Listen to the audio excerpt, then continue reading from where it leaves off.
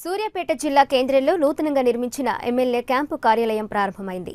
తెల్లవారుజామున సూర్యాపేట ఎమ్మెల్యే రాష్ట్ర విద్యుత్ శాఖ మంత్రి జగదీష్ రెడ్డి సునీత దంపతులు గృహప్రవేశం చేశారు. ఉమ్మడి నల్గొండ జిల్లాలో మొదటిసారిగా సూర్యాపేటలో కోటి రూపాయల వ్యయంతో ఎమ్మెల్యే క్యాంపు కార్యాలయం నిర్మించారు. కార్యాలయం ప్రారంభోత్సవం సందర్భంగా సుదర్శన మహాయాగం నిర్వహించనున్నారు. చిన్నజీయర్ స్వామి ఆశ్రమం నుంచి వచ్చిన వేద పండితులతో పాటు రెండు వందల మంది అర్చకులు యాగంలో పాల్గొనున్నారు.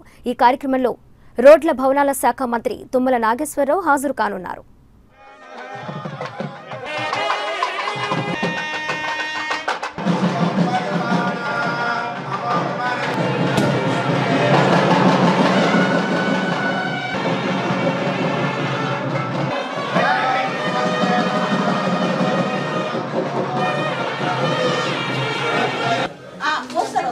అందరు ఉన్నారు కదా.